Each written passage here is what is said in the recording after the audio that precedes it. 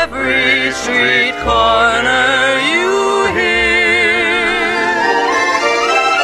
Silver bells, Silver bells, silver bells, silver bells. It's Christmas time in the city. Ring-a-ling, Ring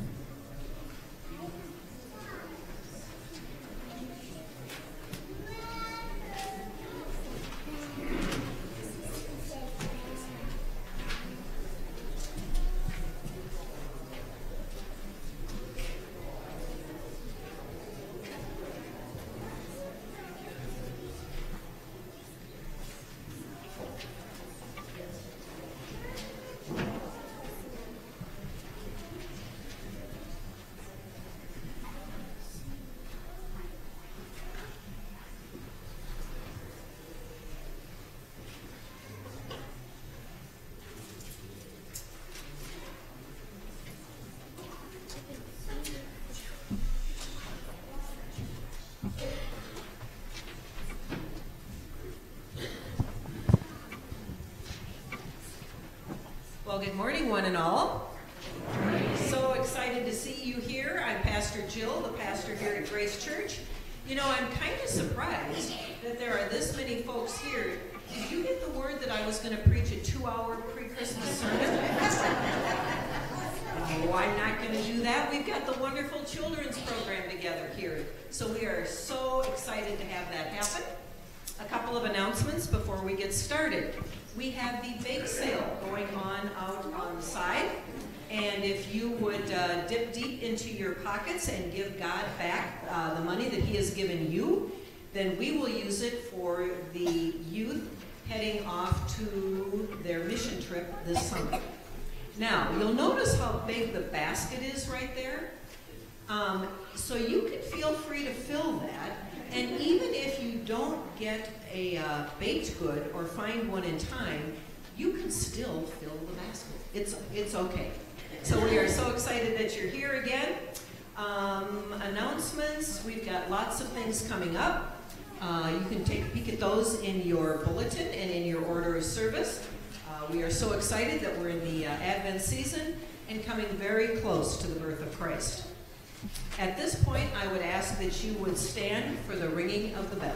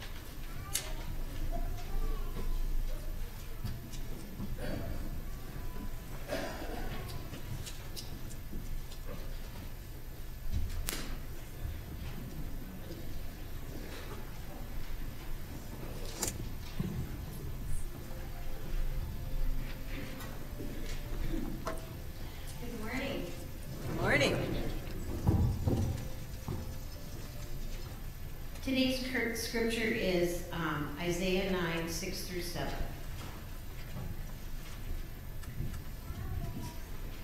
For to us a child is born, to us a son is given, and the government will be on his shoulders. And he will be called Wonderful Counselor, Mighty God, Everlasting Father, Prince of Peace. And of the greatness of this his government and peace there will be no end. He will reign on David's throne and over his kingdom, establishing and upholding it with justice and righteousness from that time on and forever. The zeal of the Lord Almighty will accomplish this. Hear the word of the Lord.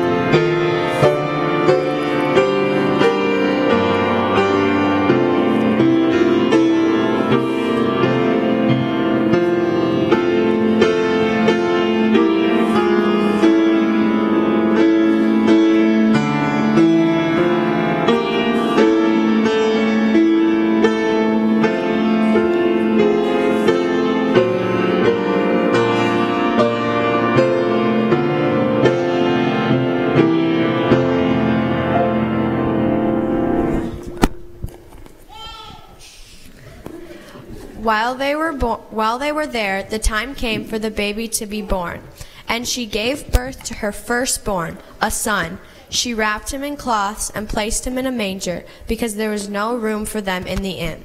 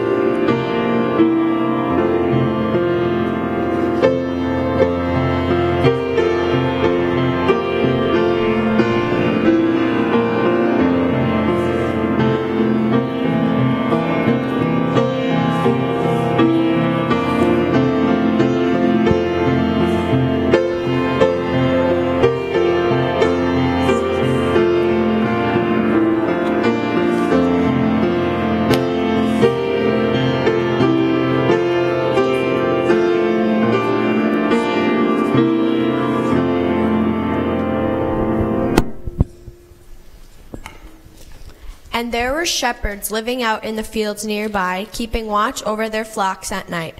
An angel of the Lord appeared to them, and the glory of the Lord shone around them, and they were terrified. But the angel said to them, Do not be afraid. I bring you good news of great joy that will be for all the people. Today in the town of David, a Savior has been born to you. He is Christ the Lord. This will be a sign to you. You will find a baby wrapped in cloths and lying in a manger. Suddenly, a great company of the heavenly host appeared with the angel, praising God and saying, Glory to God in the highest, and on earth peace to men on whom his favor rests.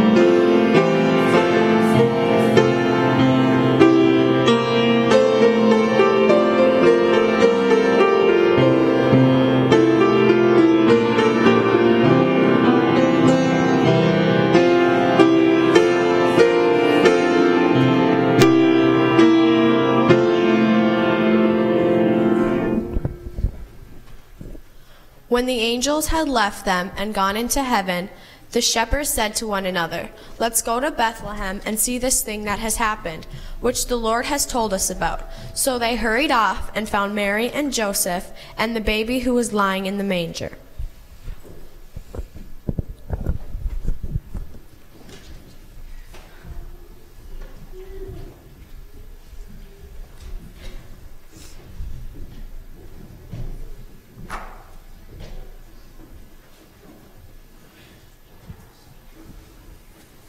What a beautiful story it is. What a beautiful story. A Savior born in Bethlehem. But in a shabby old stable, I've been to Bethlehem. It's just a dirty old peasant village. This child was so poor, even poorer than we are. We are poor. We live in the court of We don't own anything, not even ourselves. These armbands we wear show that Herod owns us.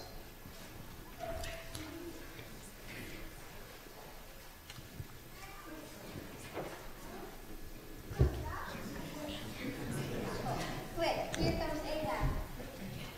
Get in line and try to act like you belong.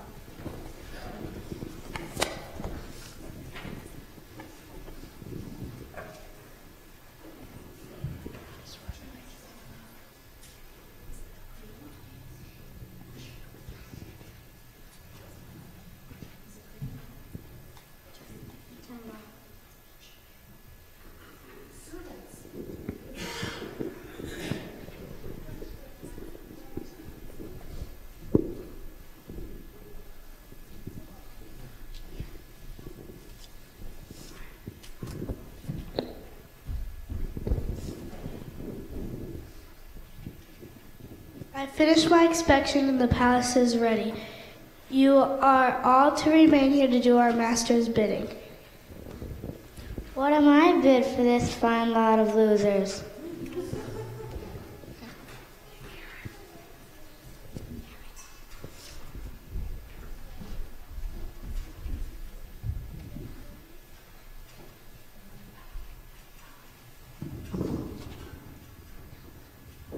The distinguished ambassadors of Thracia, Casper, Melchior, and Bethazar.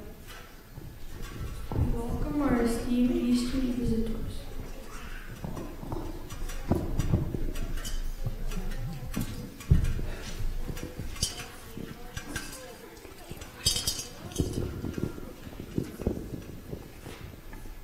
What do they We welcome our esteemed Eastern visitors. what do they have to be steamed about? How may our humble kingdom serve you? Three camel burgers, light mail, hold onions. We have come a great distance in search of a child. Where is he that is born King of the Jews?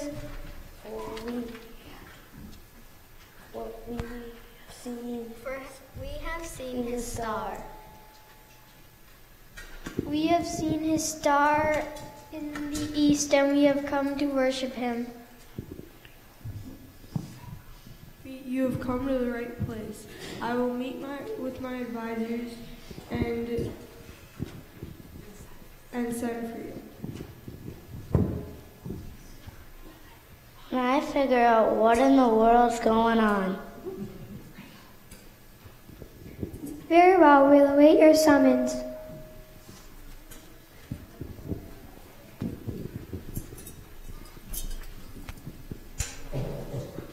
Scribes.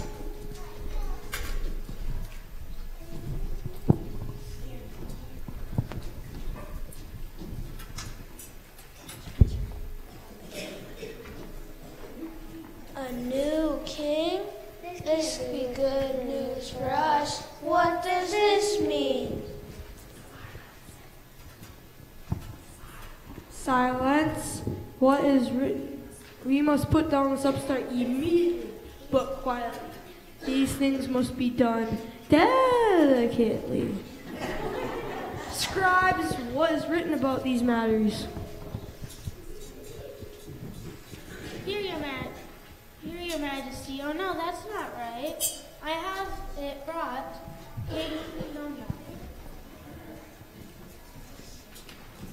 Sire, ancient Hebrew scriptures tell of a promised Messiah who will rule with justice and peace. The, the prophet Micah names his birthplace. But you, Bethlehem, though you are small among the plains of Judea, out of you will come for me one who will be ruler of the. Bethlehem, not, wi- not far away. Hmm, maybe, may, maybe these Persian sandal slippers could be of service to me. Harold, summon my, my visitors and meet me here alone at the sixth hour.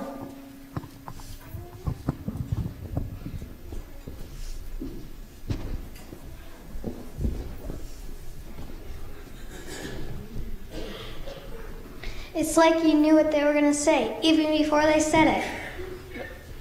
Those are the holy writings about Jesus. Those visitors are the wise men. Wise men? What, wise men? What makes them wise? They were wise enough to recognize God's Son, even though he came as a helpless baby born in a lowly stable. Why don't we follow the wise men to Bethlehem, okay? Okay, Gert.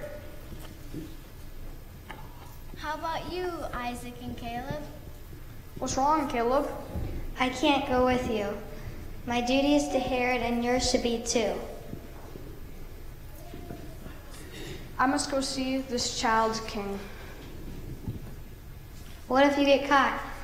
Herod will treat you as a traitor, and then no one can save you.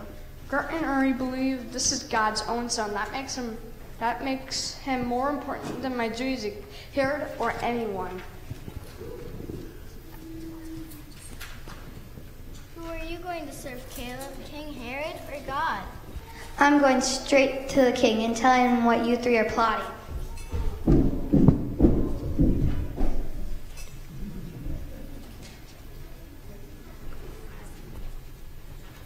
Isaac, when. What do we do now? When he tells King Herod, it'll be very bad for you. Only if Caleb knew what Herod is really planning to do. I've got to go tell Caleb. You'll be putting yourself in great danger. God will protect me. You two go to the Bethlehem. I'll meet you there. Be careful, you're the only little brother of God. Hurry, let's go. So someone's coming. Hurry, let's go.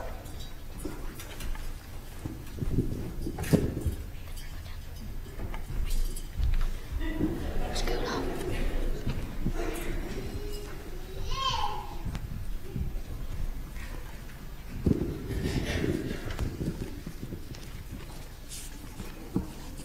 My, my advisors have searched carefully for the answer to your question. But first, I have a, I have a question for you. When did this start? Baltazar be the one to answer that question. Saw it first. I did, yes. When did you see the star? In the western sky, it was. When did you see it? Six months before our trip we started. And when did you start your trip? Years it seems ago. So long traveling we have been. Only one year it may be. Certain? I'm not. So it could have been one or two years ago?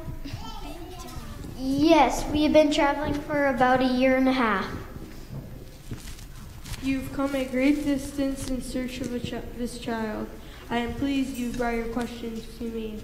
For that, for that too, I may honor him. Unfortunately, my duties keep me from traveling with you just now. Perhaps you will do me great diligence and and go and search for him diligently. And when you have found him, bring me word again, so I may honor him. Worship him also. We will do so if the heavens allow. S- What? It's settled then. For and now we will you join me in the royal banquet hall? You'll stay the night, of course. I've had rooms prepared for you.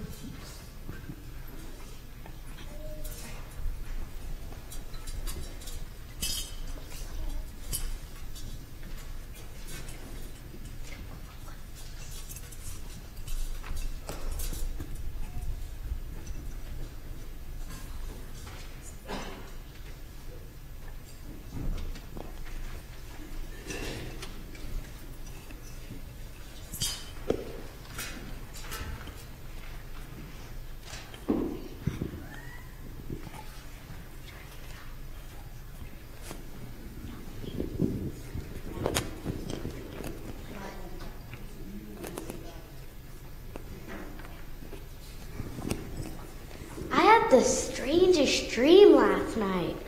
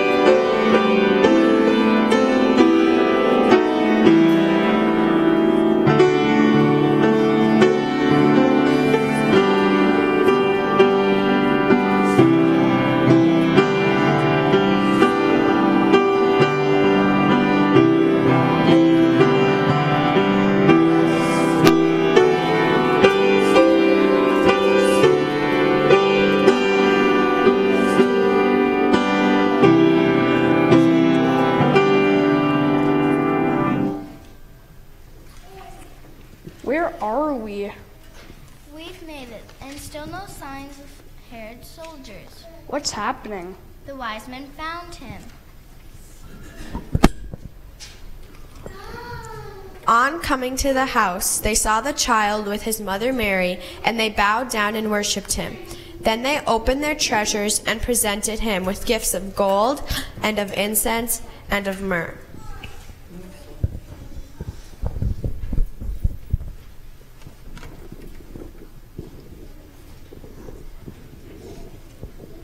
Isaac. So you found us. Did you bring the soldiers with you? No, it's just us. What made you change your mind? He's a monster. Who? What do you mean? Herod. We overheard what he was plotting to hurt this innocent child. I couldn't stay at the palace any longer. Come see the child of God.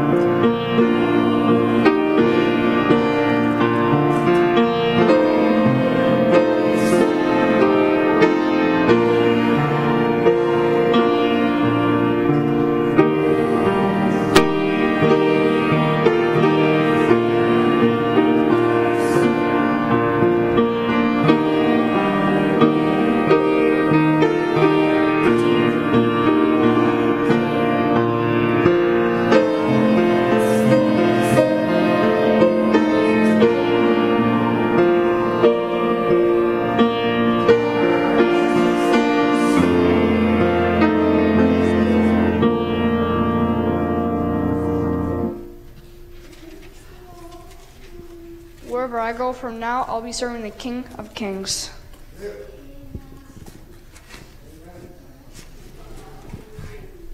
Wait, Gert, I don't have a gift for Jesus. Well done, little brother. You knew God wanted you to help Caleb, and you were brave enough to do it. Do it. Obedience is the best gift anyone could ever give Jesus, the King for all time.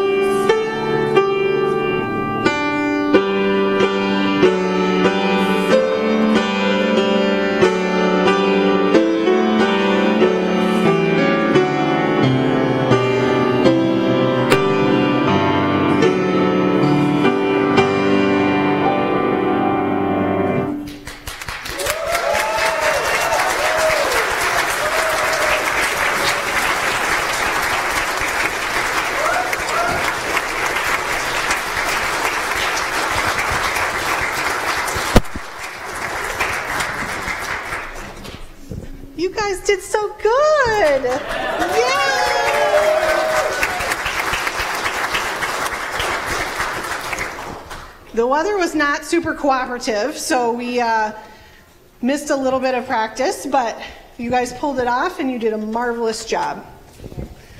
All right, so um, let's bow our heads in prayer. Father God, we just thank you for these wonderful kids and the time and the energy that they put in to this, and we are just so grateful for all of that and for them telling the story of your birth. So help us go about our Christmas season as we remember this day. Amen. The kiddos are just going to sit down while we finish up, and then they're going to be staying in the front, so you can come and greet them if you'd like afterwards, because there's no room out there for all of these wonderful littles. And we, as a church and family and friends of Grace, are so grateful that we have Carrie here running our children's program. You rock it.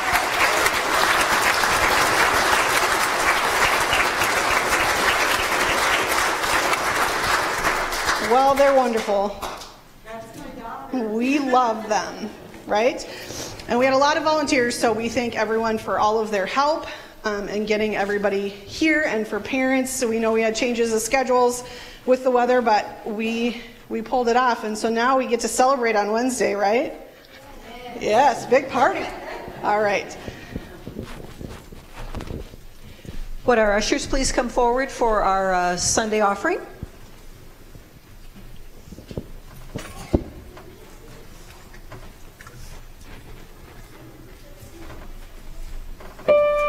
Father,